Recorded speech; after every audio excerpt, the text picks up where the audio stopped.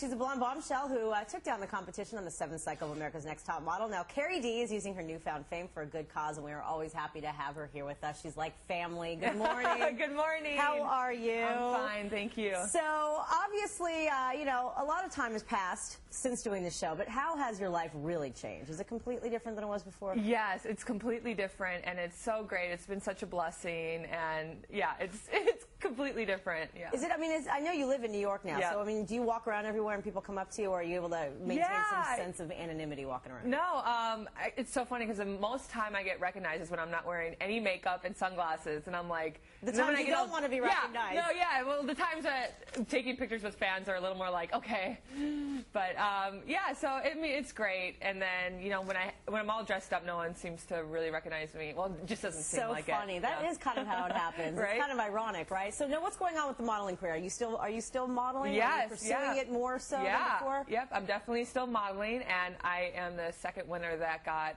re-signed with CoverGirl. I'm the face of their eyewear now, so they got Oh. sunglasses and fun Nice. stuff like that. I'm in Cosmo this month, like four pages, and yeah, I've been doing a lot. Is of it weird, like walking by newsstands, seeing the Cosmo, like knowing, like I'm in that? Yeah, yeah, I know. It's great. It's it's it's cool. It's better than seeing me in the in the gossip magazines. Cause I'm And how do you stay out of those? 'Cause Uh, you're living a I- nice, clean life, right? Yes, live a clean life and try not to wear the same outfit as somebody else, and don't lose because I always seem to lose out of it.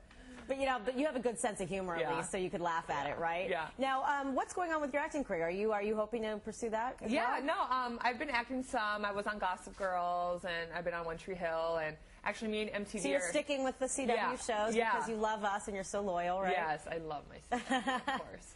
Now I know that you've pretty consistently you've had the same boyfriend. Are you still with him? Yep, yep. He's watching right now, so good morning. Good morning. Wow. So what you know? How has it changed for him? I mean, now you know he. Are you still the same Caridee? Yeah. Oh, Before all this? absolutely. He's so great. I mean, I'm really messy, and I'm so glad he cleans. Wow. So he's the clean one. Yeah. huh? Oh my gosh. yes, he's definitely the clean one. Wow. Yeah. I'm definitely the messy. And he cleans up your stuff like off the floor. He'll like Yeah, it in order with for you. yelling, and I We know. should all find a guy like I that. know. I know. All right. Now, also, you're here for a good cause because Yes. you yourself you suffer from psoriasis, Yes. and you're and you're here to talk about a certain campaign. Tell us about that. Yeah, um, well, I've been working with the Psoriasis Foundation now for almost a year, and then globally now I'm working um, all over in Canada and Europe, so it's really exciting. But I was just in DC last week, or well, actually like yesterday, um, um, working for um, this bill that we're trying to get passed. You know, we're trying to get you know senators and congresswomen and men signed on to this bill. Uh-huh. It's Psoriasis and Psoriatic, psoriatic Arthritis Uh-huh. Research, Research, Cure, and Care Act.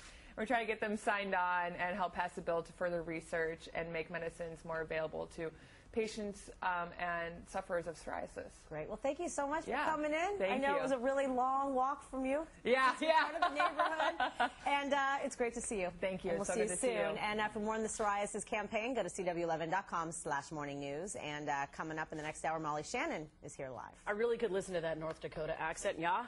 Yeah? I mean, she's from Fargo, by the way. Mm-hmm. All right, up next on the CW11 Morning News is your hard drive fireproof. Yeah, you might want to look into that.